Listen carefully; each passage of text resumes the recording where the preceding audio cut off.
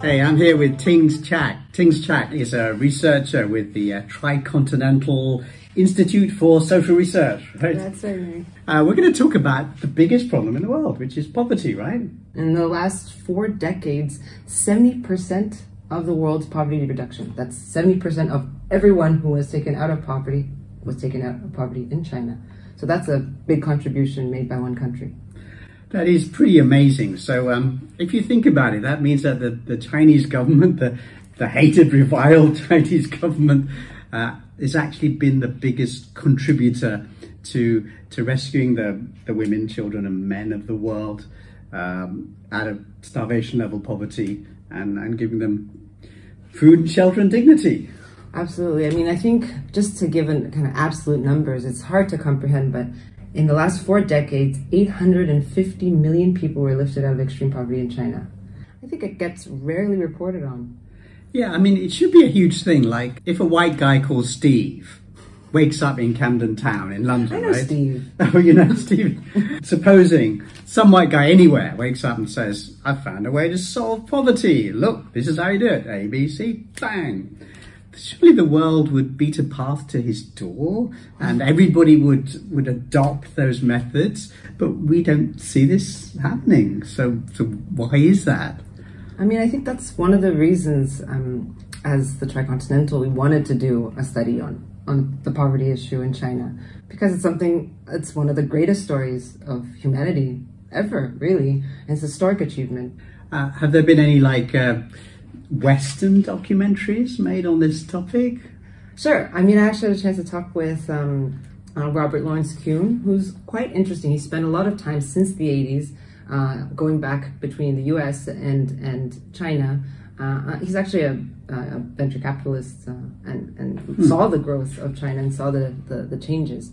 And so he did a documentary really um, quite fascinating. It was a partnership between PBS, which is a public state media from the US, and then also CGTN, which is the English language or international um, public media in China. And together they did a, um, uh, they went to the basically countryside to, to do a documentary on how the processes work, you know, who's in the countryside, who gets lifted out of poverty, what are the democratic processes in the grassroots level, which is quite interesting. Shortly thereafter, it got pulled off air in the US. It was de facto censored um, based on some editorial concerns. So there's also some interests, I think, in not talking about poverty or the alleviation of poverty because somehow that might seem threatening to, you know, hear those stories from China. yes, yes. Somebody might think, um, oh, uh, another government is doing their job better than we are, so we can't have that. What's the secret? What do they do? Probably the most important is this three guarantees. So, in order for someone to be considered lifted out of extreme poverty, you have to make sure you have access to uh, compulsory and free education. In, China, it's nine years. Mm-hmm. You have access to basic medical health. Uh, and you have access to safe housing that has running water and electricity. So only when all these sort of indices mm. come together, looking at a kind of multi-dimensional, multi-layered approach to poverty, mm. then someone can be lifted out of poverty. So that is something that's probably quite I think, innovative and new um, that China contributed mm-hmm. to the you know efforts around poverty reduction that have been mm-hmm. happening around the world, but oftentimes aren't sustained mm-hmm. beyond a particular program or particular funding. That you know when it ends, people fall back into poverty. The second part is really sending people the to the countryside to understand the realities of what's happening. So you have to go literally neighborhood to neighborhood, village to village, knock on the doors, and they sent 800,000 people from the party to actually knock on doors and figure out, assess. They sent 800,000 people to knock mm-hmm. on doors to find who was poor and where they lived. Yep, and from there um, created a, a, system of saying, okay, there are actually 100, 100 million people still mm-hmm. living under ex- uh, extreme poverty based on the set of mm-hmm. measures I just mentioned. And then after that, they sent another 3 million people to go and live and work.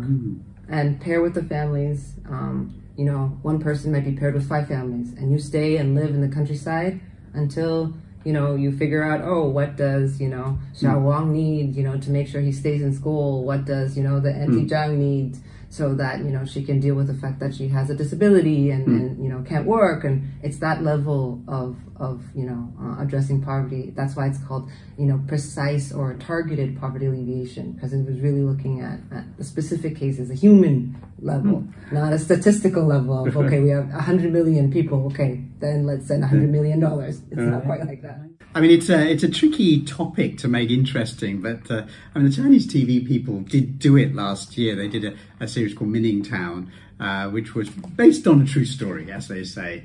Uh, did you watch it? They didn't broadcast it here.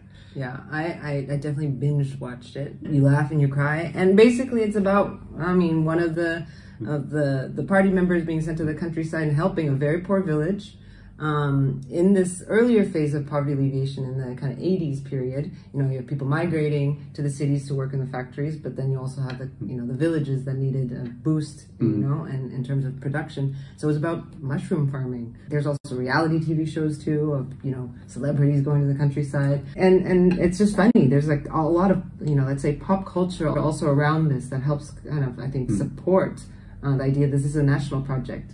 So I think that's quite interesting. It's not just a government project, but also something that people support. If you ask mm-hmm. an average person, they'll say, yeah, poverty alleviation is something to be proud of. It's interesting that these studies of poverty alleviation, like like Minning Town and these movies, are, are sometimes quite critical of the government too. Also in the study and also in Minning Town, it talks about questions of corruption. You know, there's a lot of, you know, we know that in China right now, corruption and anti-corruption is a big part. And there have been a lot of cases found around corruption, but it's also mm. Quite publicly announced and quite publicly addressed. And and one thing that's really interesting about that documentary from Lawrence um, uh, Robert Lawrence Kuhn is that uh, there is a whole system of you know third party evaluation that happens. So to make sure that you know officials aren't doing you know aren't aren't making an extra buck here and there, and and so they send also brigades or groupings of students, university mm-hmm. students that come. And there's a really interesting scene in the film uh, in the documentary, where the students are basically grilling the officials and say, okay, look at the books. We went to every house to check, and they do these random searches, and there's a whole kind of third party way. You know, someone sent me a video of uh, taken in Xinjiang of the day the poverty alleviation official has to leave town. Yeah, and every village member they'll line up to hug him, and you know you can't you can't fake something like that. Yeah. yeah. I mean, if you've been living there, I mean, a lot of these people are sent to villages, they don't have existing connections, you know, and they might not even speak the local dialect. And you live there, you're far from your family, you miss home too, mm-hmm. and you're there amongst the people for years. You build those real relationships, and people, also people build trust. Wonderful. Okay, I've been talking to, to Tings Chak, who's written a wonderful book on poverty alleviation methods uh, in China, uh, full of full of data and statistics and detail about how it's done. Thank you very much, Tings. Thank you.